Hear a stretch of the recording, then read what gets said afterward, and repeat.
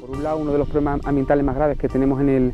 en toda Andalucía en especial en la cuenca de Guadalquivir son los altos niveles de, erosión y, el déficit de agua, porque el olivar, sobre todo en ciertas zonas de, Jaén y de, Córdoba, pues se ha intensificado en los últimos años, eh, se ha puesto en regadío un, un cultivos que es tradicionalmente de secano y, se ha producido también un, laboreo muy profundo que ha provocado unas cárcavas, siendo por ejemplo Jaén la provincia o la región en, la Unión Europea con mayores eh, tasas de, erosión. Sin embargo, existe la vertiente del 24% del olivar de, montaña, un olivar que mantiene tanto beneficios sociales como beneficios ambientales. Esos servicios que se le da a la sociedad no están compensados actualmente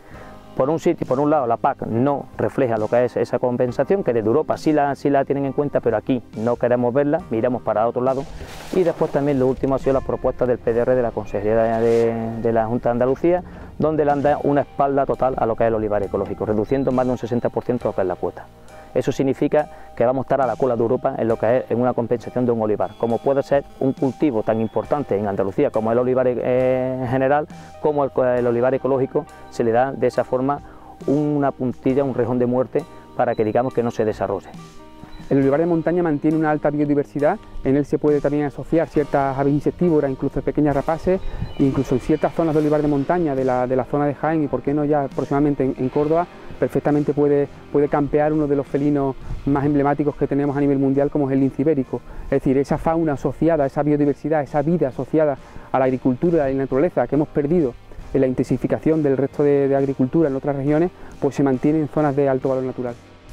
WWF dentro de su proyecto sobre sistemas de alto valor natural está trabajando en los pedroches mano a mano con, con la cooperativa OLIPE. En ese sentido estamos trabajando en varias líneas de acción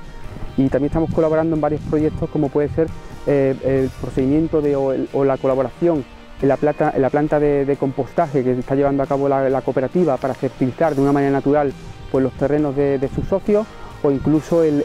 los proyectos de, picado de restos de poda para fertilizar el, suelo y también para protegerlos de la erosión.